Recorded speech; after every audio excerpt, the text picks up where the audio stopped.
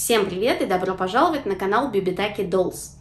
И сегодня я предлагаю вам заняться кукольным гардеробом. Для этого для начала заходим в infobox и смотрим выкройку для вашей куклы. Там есть три варианта выкройки. Для Fashion Royalty, для Poppy Parker и для Барби на современном теле Made to Move. И сейчас я покажу, как сшить романтичное платье.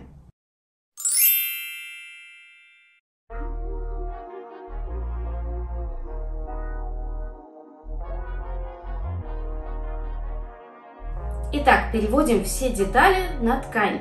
Я использую для этого обычный карандаш. Вокруг деталей пририсовываем припуски на швы. Со всех сторон они у меня 5 мм и по подолу юбки 10 мм. Теперь все детали вырезаем.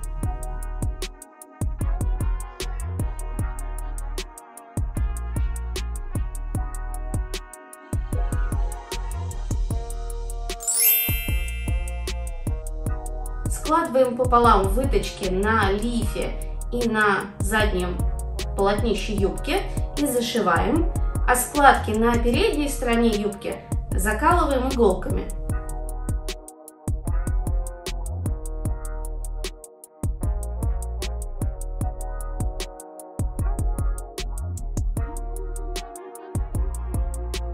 Спереди у вас должна получиться вот такая складочка.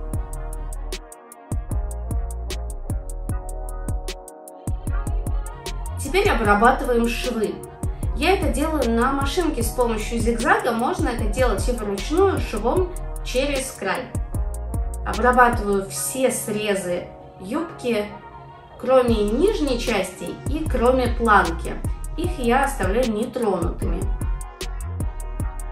Также срезы обрабатываем и на лифе, со всех сторон, кроме горловины. Ее тоже не трогаем.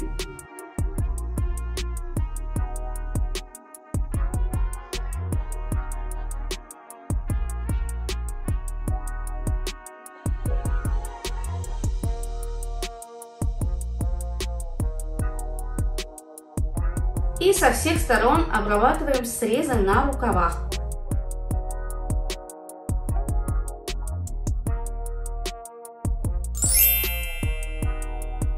Теперь я подгибаю горловину. Для этого надсекаю ножницами припуск на швы на горловине, не доходя до края, примерно на 1 мм, чтобы ткань у нас не распускалась по горловине, но могла легко на нее улечься.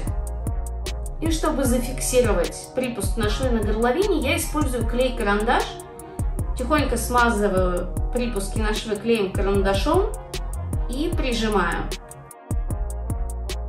И теперь можно на горловине проложить строчку.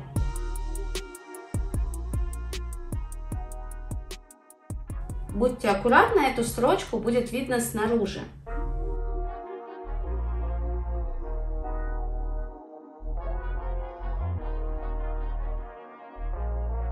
Складываю детали лифа и зашиваю плечевые швы.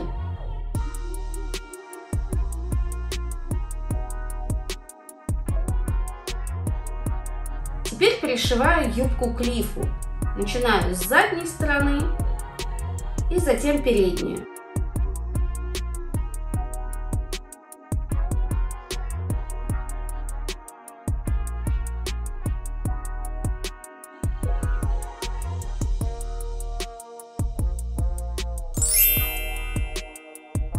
Теперь пришиваем рукав. Делаем мы это в два этапа. Сначала переднюю часть, а затем заднюю. Для этого берем рукав и ту точку, где у нас подмышечные впадины, прикалываем к лифу иголкой и прикалываем центр рукава к плечу. Всю оставшуюся ткань рукава складываем складочками и прикалываем к рукаву спереди лифа. У меня получается три складки. То же самое повторяем и на втором рукаве, точно так же прикалываем его к передней стороне лифа. И затем переднюю сторону рукава пришиваем.